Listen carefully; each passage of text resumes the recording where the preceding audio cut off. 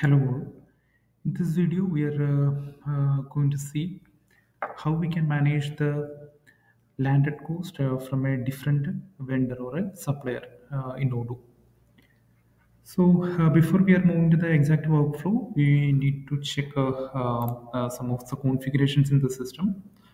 So here, the first thing you need to enable the landed cost in the system. So we can see landed cost, enable that option then uh, make sure we are on a uh, Anglo-Saxon uh, accounting because when we are doing any um, purchases um, and the sales, the cost of revenues will be um, recorded in the system when you are doing the sales only. So make sure these options are enabled and uh, about the stock valuation settings. So you can see we have automatic accounting and stock valuations. These accounts are also configured in the system.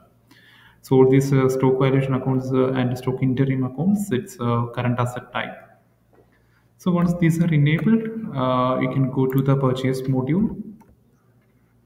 So on the purchase module, uh, you can see there is a configuration. Uh, I just created one more product category and it's called the landed cost and these configurations are also done.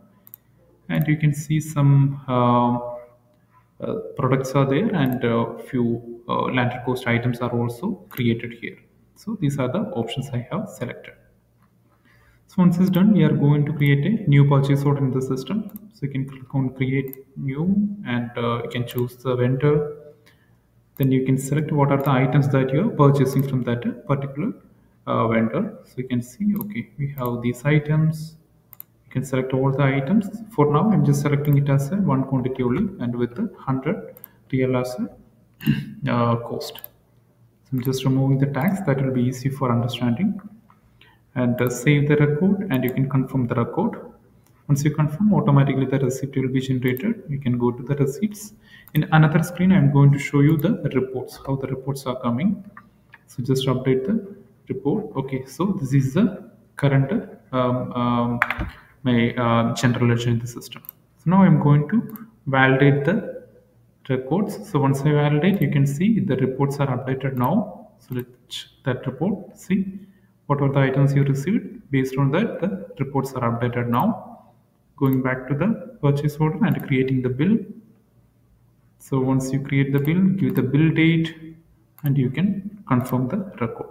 So once you confirm automatically the uh, reports will be updated so this is how it will look like now the next step we are going to create the bills in the system okay means the extra freight charges or something so you can come to the accounting vendors bills and uh, click on create new.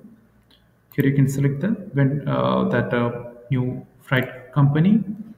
Then here you can select all the extra charges that you are paying as a landed cost. So you can select all the items here. It's 30 remove this record give the bill date. Then you can save and confirm the record.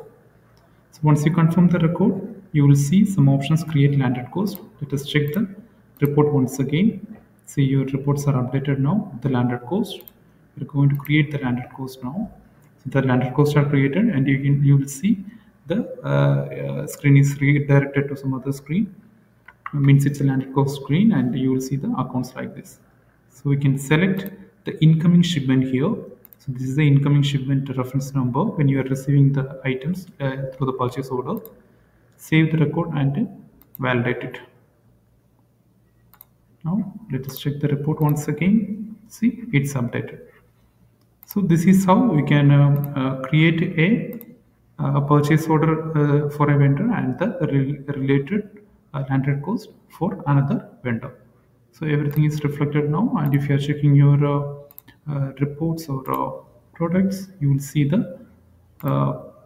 costs are automatically updated. Thank you